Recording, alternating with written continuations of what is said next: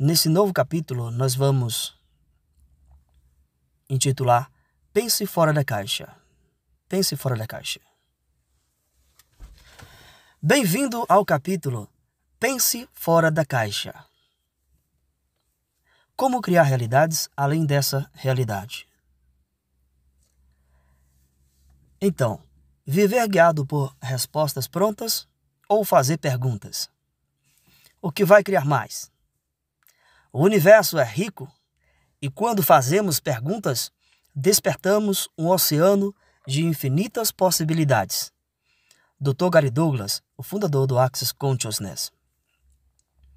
Segundo a filosofia do Access Consciousness, as duas perguntas mais poderosas são: como pode melhorar e o que mais é possível? Portanto, ao longo do dia, podemos estar curiosos, fazendo estas perguntas para nós mesmos. E isto independente da situação, seja ela boa ou não tão agradável. Como pode melhorar? O que mais é possível? Então, durante o dia a dia, estamos acostumados com as respostas e conceitos prontos. Verdade. Mas o que vai criar mais hoje? Sempre é bom considerar que aquilo que aceitamos como realidade pode ser apenas um interessante ponto de vista que temos sobre uma situação ou sobre uma pessoa.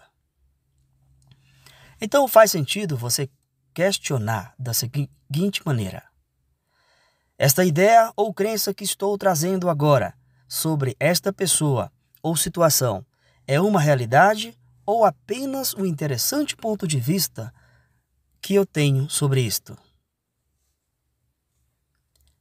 Quando sugerimos para alguém fazer perguntas, estamos, na verdade, estimulando essa pessoa a pensar fora da caixa.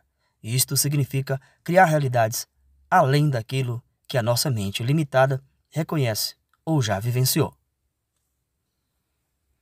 Na, pró na própria Bíblia, temos a seguinte citação: Aquilo que os olhos não viram está no céu, aquilo que os olhos não viram está no céu. Mas, como está escrito, as coisas que o olho não viu e o ouvido não ouviu, e não subiram ao coração do homem, são as coisas que Deus preparou para os que o amam. 1 Coríntios, Coríntios, capítulo 2, versículo 7 ao 12. Então, Existe uma realidade além dessa realidade que conhecemos? Existe uma realidade além daquilo que a nossa mente já vivenciou? E como acessar essa nova realidade? Como acessar aquilo que os ouvidos não ouviram, aquilo que os olhos não viram, aquilo que, que Deus tem para nós de mais profundo? Então é importante fazer essas perguntas. Deus, como pode melhorar? O que mais é possível? Negócios. Como pode melhorar? O que mais é possível? Relacionamentos.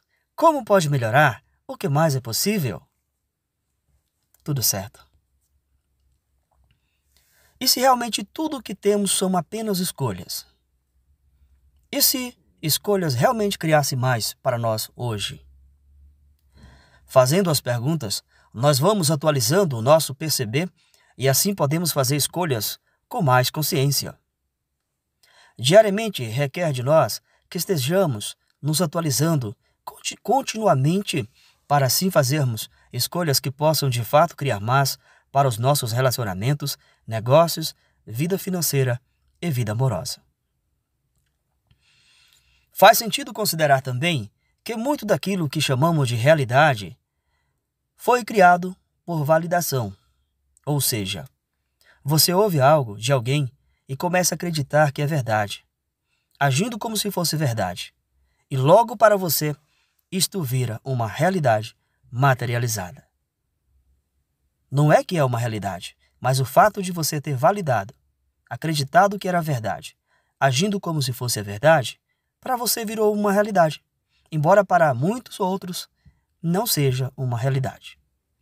Então, mais uma vez, faz sentido você questionar da seguinte maneira: Esta ideia ou crença que estou trazendo agora sobre esta pessoa ou situação é uma realidade ou apenas um interessante ponto de vista que eu tenho sobre isto?